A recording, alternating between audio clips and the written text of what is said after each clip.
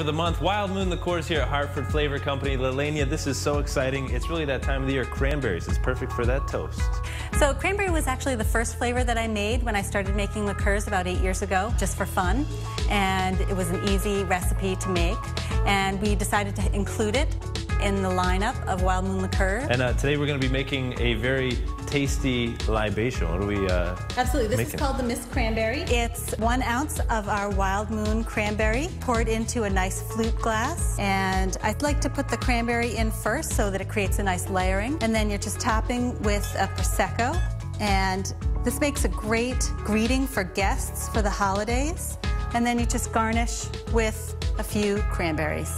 Lelania, this is such a beautiful drink here, and you guys can experience it too. Come on down here to the Hartford Flavor Company in their tasting room. Check them out online, hartfordflavor.com or anywhere throughout the state.